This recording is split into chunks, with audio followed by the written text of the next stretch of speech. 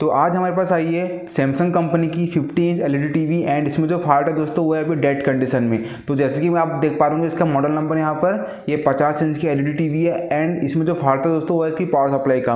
Customer ने बताया कि हाई वोल्टेज एकदम से आया तो इनकी एल यहाँ पर बंद हो गई। तो मैंने यहाँ पर चेक किया तो उसकी पावर सप्लाई यहाँ पर जो हमारा ट्रांजिस्टर है, वो यहाँ पर शॉर्ट था एंड जो इसके पीछे की पी डब्ल्यू आई रहती, वो भी यहाँ पर शॉर्ट थी। बट दोस्तों, यहाँ पर आपको एक और आई देखने को मिल जाती, ये भी यहाँ पर शॉर्ट दिखा रही थी एंड यहाँ पर दो मास्पेट थे जिसको मैंने ऐसे निकाल दिया वो भी यहाँ पर शॉर्ट दिखा रहे थे तो दोस्तों, मैंने यहाँ पर मॉडलर का यूज़ किया पाँच से चौबीस वोल्ट का तो उसने सीरीज़ में बहुत ज़्यादा लोड ले रहा था यहाँ पर एंड बहुत ज़्यादा गर्म आ रहा था बिकॉज़ ये तीन कपड़े की हमें सप्लाई है। तो ऐसी कंडीशन दोस्तों, में क्या करता और कस्टमर बोल रहा था कि हमको अर्जेंट चाहिए। तो मैंने कस्टमर को बताया कि हमको न्यू पीसीबी मंगवाना पड़ेगा, एक से दो दिन लगेगा। बट कस्टमर ने बोला कि हमारे पास टाइम नहीं है, हमको आज ही चाहिए कैसी भी तरह। तो मैंने यहाँ पर क्या किया हूँ? मैंने यहाँ पर चौबीस वोल्ट की पावर सप्लाई लगाया हूँ, जो कि पाँच एम्पियर की है, जो कि हमारे पचास इंच के लिए इनफ है। तो यहाँ पर मैंने क्या किया हूँ? जो मेरी मेन स्लिट का जो हमारा सॉकेट था, जो कि हमारा पीसीबी का था, आप देख पा रहे हो यहाँ से, मैंने इसको निकाल के यहाँ पर लगा दिया हूँ एंड यहाँ पर मैंने स्क्रू से कस दिया हूँ। एंड जैसे कि आप देख पा रहे हो यहाँ पर मैंने इसके दोनों वायर को अपने पावर सप्लाई के दोनों पिन पे अटैच कर दिया हूँ। एंड यहाँ से मैंने आउटपुट में जो हमारा निकला ट्वेंटी फोर की सप्लाई यहाँ से मैंने दो वायर रेड लिया हूँ एंड दो वायर ब्लैक लिया हूँ। तो पॉजिटिव वाला हमारा रेड है एंड नेगेटिव वाला हमारा ब्लैक है। तो जो हमारा पॉजिटिव नेगेटिव मैंने एक लिया हूँ, वो मैंने इन्वर्टर बोर्ड में डाल दिया हूँ, जो कि हमारा डबल मास्पेट का है, जो कि हमारे बत्तीस इंच के ऊपर के एल में लगता है, जो कि हेवी रहता है हमारा। एंड जो ब्लू वाला वायर है हमारा, वो है हमारा बीएल ऑन का। तो उसको मैंने अपने मदरबोर्ड के एक वायर पे अटैच किया। आप भी, मैं आपको आगे बताऊँगा। तो दोस्तों, ये जो हमारा सेकंड वाला वायर है रेड एंड ब्लैक वाला, इसको मैंने स्टेप डाउन कन्वर्टर पे लिया हूँ, जो कि हमारा वोल्टेज को कम करता है, आप देख पा रहे होंगे।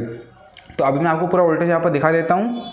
तो ये मेरा मल्टीमीटर है, इसको मैं अभी ग्राउंड पर रखा मैंने निगेटिव वाली प्रॉप को एंड जो मेरा रेड वाली प्रॉप है, इसमें आपको वोल्टेज दिखाता हूँ। तो यहाँ पर आप देख सकते हो, यहाँ पर एक मिनट टू हंड्रेड पे सेट करता हूँ। एंड यहाँ पर हमारा ट्वेंटी फोर वोल्ट यहाँ पर बना रहा है हमारा पावर सप्लाई आप देख सकते हो।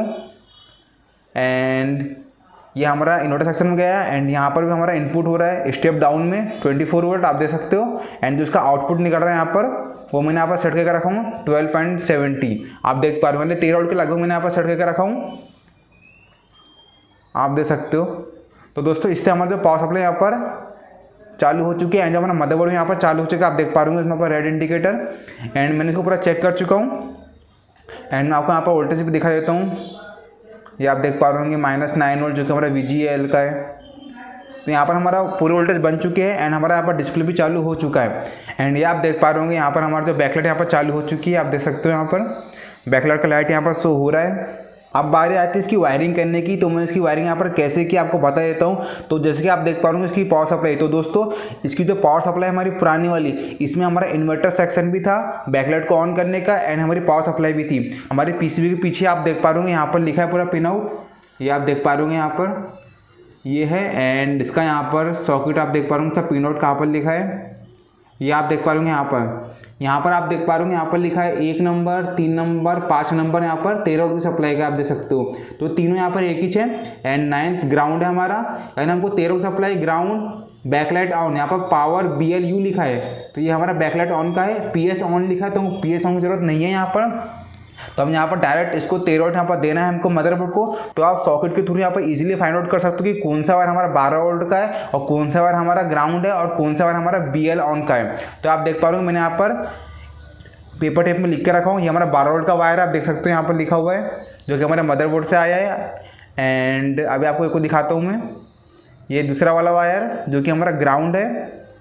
मैं यहाँ पेपर टेप में लिख के रखा हूँ ताकि मैं आपको बता सकूँ कि आप ऐसा यहाँ पर कर सकते हो ताकि आपको समझ में आ जाएँगे। जब भी वायर को कट करूँगा तो पेपर टेप तो आपको मालूम चल जाएगा। एंड जो नीला वाला वायर है हमारा, ये वाला, जो कि हमारे बी ऑन में लगा है इन्वर्टर बोर्ड में तो ये हमारा इसमें पाँच की सप्लाई आती है हमारे मदर बोर्ड के थ्रू तो अगर नहीं भी आएँगे दोस्तों तो आप इजीली यहाँ पर कोई भी तीन से पाँच वोल्ट यहाँ पर दे सकते हो तो उससे क्या होगा, आपका इजीली यहाँ पर बैकलाइट चालू हो जाएगा। एंड यहाँ पर आप देख पा रहे जो मेरे बैकलाइट के वायर थे, उसको मैंने यहाँ पर सीरीज़ बना दिया हूँ। आप देख पा रहे आपको सीरीज़ कैसे बनाना है, दोस्तों, बहुत ही आसानी से आप यहाँ बैकलाइट टेस्ट के थ्रू देख सकते हो कि कौन कौन से बल्ब में कितना लोड है यहाँ पर, उस हिसाब से यहाँ पर सीरीज़ बना सकते हो प्लस माइनस की। एंड मैंने उसको यहाँ पर कंप्लीटली पैक कर दिया हूँ तो अभी मैं आपको उसको उठा के दिखाता हूँ। तो आप देख पा रहे यहाँ पर, थोड़ा सा भारी, दोस्तों, ये एक मिनट उसको उठा देता हूँ। तो ये आप देख पा रहे यहाँ पर हमारा एलईडी चालू हो चुकी है। ये आप देख पा रहे होंगे। एंड मैं आपको फिर से एक बार यहाँ पर दिखा देता हूँ तो ये आप देख पा रहे हो यहाँ पर हमारी एल चालू हो चुकी है। तो मैंने यहाँ पर चौबीस वोल्ट की सप्लाई लिया बिकॉज़ हमारे इन्वर्टर बोर्ड को चौबीस वोल्ट की सप्लाई लगती है बैकलाइट को ऑन करने के लिए एटलीस्ट एंड जो हमारा मदर बोर्ड को बारह वोल्ट लगता है तो मेरे पास स्टेप डाउन कन्वर्टर था तो मैंने चौबीस वोल्ट को बारह वोल्ट पे कन्वर्ट कर दिया। आपको मैंने पूरा दिखा चुका हूँ। वायरिंग बिल्कुल आसान है दोस्तों। तो आप लोग इस तरह से इसको बना सकते हो। सो आई होप गाइस आपको अगली वीडियो पसंद वीडियो को लाइक कर देना। सब्सक्राइब माई चैनल ताकि मैं इंटरेस्ट लाता रहूँगा। सो गाइस मिलते हैं अगली वीडियो में।